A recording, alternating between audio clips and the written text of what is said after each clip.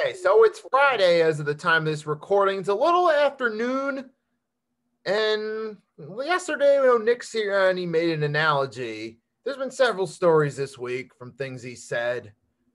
So I'm going to react to the most recent one. So he gave it a flower analogy about the team. So what I'm going to do is I'm going to listen to it. I'm not going to share the vid, but I'm going to play that soundbite, and then I'm going to react. Go, make sure I'm ready you know the results aren't there right now. But what's going on here is is that there's growth under the soil. I, I, I put a picture of a, a, flower up right? And that it's and it's coming through the ground and the roots are growing out and the roots and the roots are continuing to grow out. And the only way the roots grow out every single day and they grow stronger and they grow they grow better is if that we all put our we all water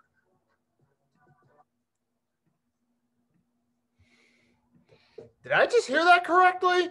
Did I just hear that correctly? Nick Sirianni, did I just hear that correctly? You used a flower analogy to say that this team is growing? How? How is this team growing? We are two and five. Okay, it would be one thing if we were three and four. It'd be one thing we beat the Falcons, beat the 49ers, and beat the Panthers. And if we so we still lose those four games to the Cowboys, Bucks, Chiefs, and Raiders, but we put up a good fight in those four games, that's a sign of growth. But that's not what's happening, Sirianni. That is not what happened is what's happening at all. Instead, what's happening is we beat the Falcons opening day. We couldn't beat the 49ers, who are a bad team this season. We got blown out by the Cowboys and absolutely embarrassed. Get embarrassed by the Chiefs. Don't let the scoreboard fool you. The only reason we got up to 30 points because their defense is garbage.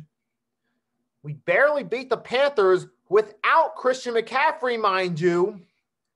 And then we got we somehow made it close with the Bucks. And we get absolutely embarrassed by the Raiders on Sunday. And that video I made Monday where I compared you to Hue Jackson, now that I think about it, I've had a few days to think about it, I do not regret saying that at all. Because you are completely incompetent. Your analogy makes absolutely no sense, and the play of this team does not reflect the analogy in any way. Because if it was, we would have at least played better against the Cowboys and the Raiders. We would have at least played and gave 100% and at least played a halfway decent game, which we really didn't do now, did we? We would have played harder against the Cowboys. We would have found a way to beat the 49ers if any of that were true. But that's not the case. It's looking just like last year. And some people are already saying that this year is going to be worse than last year. And knowing the way this team looks right now, and listening to things you say, Nick Sirianni, that could very well happen. It clearly shows that you do not have what it takes to be an NFL head coach. And the one thing that confirmed it, that I'm going to address right now, you admit you don't watch film on the defense? You are a head coach. How do you not watch film? That tells me that the Eagles hired a puppet for Howie Roseman who does not care whatsoever. He does not care at all.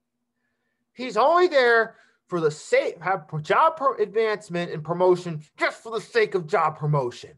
Worked, he got a head coaching job just for the sake of it, but he really does not care about the result. You know what? Get this clown out of here. I didn't think I'd say this his first season, but that right there, the fact that he admitted he doesn't watch game film, reminds me of the time when Hue Jackson, when he was the coach of the Browns, admitted that he didn't know he had timeouts at the end of a half to stop the clock. That's what it reminds us. So I do not regret that comparison at all because that's what it's looking like. Mm, who knows? And the way your things are looking now, Sirianni, you're on pace to keep track with Hue Jackson's incompetence. You're on track to rival Hue Jackson's incompetence as a coach.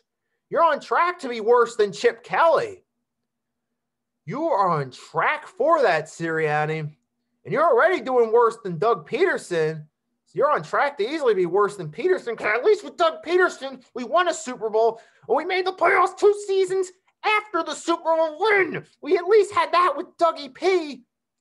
Now, you, Sirianni, so far we don't have anything good. And based off the comments you made this week, where you admit you don't watch game film, use a flower analogy, which is completely inaccurate with the way this team's been playing, tells me you do not have any business being a head coach at the NFL level. And you know what? I'm not even going to bother making a preview video for this game against the Lions. I'm not going to drop a preview video. I'll talk about it a little bit after the game and what I saw from the game, win or lose or tie, but I'm not going to make a preview video. And I don't have much else to say except Nick Sirianni's comments this week proves he is not qualified to be an NFL head coach. And that's all I'm going to say. If anything else you'd like to say in the comment section, feel free to drop a comment. Share this video if you want to to get it out there. So all have a wonderful and safe weekend. Nicky Steez signing off, and I'll see you guys next time.